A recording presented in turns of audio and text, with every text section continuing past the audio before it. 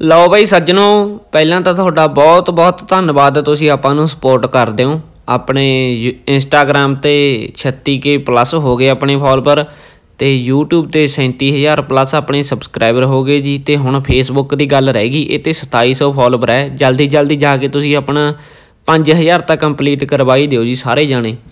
ਤੇ ਦੋਸਤੋ, ਅੱਜ ਦੀ ਜਿਹੜੀ ਵੀਡੀਓ ਵਿੱਚ ਆਪਾਂ ਤੁਹਾਡੇ ਲਈ ਘੋੜੀ ਲੈ ਕੇ ਪਹੁੰਚੇ ਆ ਇਹ ਘੋੜੀ ਹੈਗੀ ਮਊਆ ਰੰਗ ਦੀ ਆ।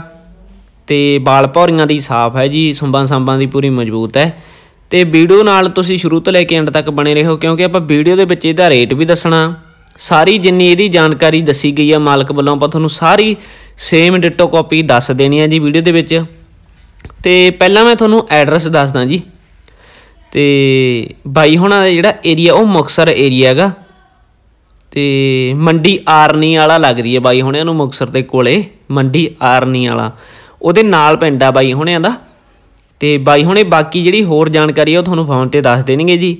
ਘੋੜੀ ਦੀ ਜੇ ਆਪਾਂ ਬਲੱਡ ਲਾਈਨ ਦੀ ਗੱਲ ਕਰੀਏ ਤਾਂ ਬਲੱਡ ਲਾਈਨ ਇਹਦੀ ਅਨਨੋਨ ਹੈ। ਠੀਕ ਹੈ ਜੀ 62 ਪਲੱਸ ਇਹਦੀ ਹਾਈਟ ਆ।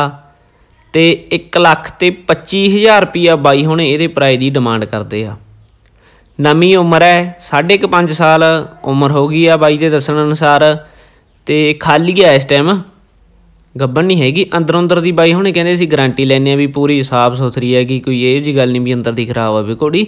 ਸਾਫ਼ ਸੁਥਰੀ ਅੰਦਰ ਦੀ। ਬਾਕੀ ਬਾਈ ਹੁਣੇ ਕਹਿੰਦੇ ਵੀ ਚੈੱਕ ਕਰਾ ਕੇ ਖਰੀਦ ਸਕਦਾ ਜਿਹੜਾ ਹੀ ਬੰਦਾ ਖਰੀਦੂਗਾ ਜੀ। ਬਾਕੀ ਦੋਸਤੋ, ਵੱਡੀ ਬਾਡੀਦਾਰ ਘੋੜੀ ਹੈਗੀ। ਜੇ ਜਿੰਨੀ ਦੋਸਤੋ ਘੋੜੀ ਦੀ ਬਾਡੀ ਵੱਡੀ ਹੋਊ, ਉਹਨੇ ਜ਼ਿਆਦਾ ਵੱਡੇ ਬੱਚੇ ਆਉਣਗੇ, ਚੰਗੇ ਬੱਚੇ ਆਉਣਗੇ।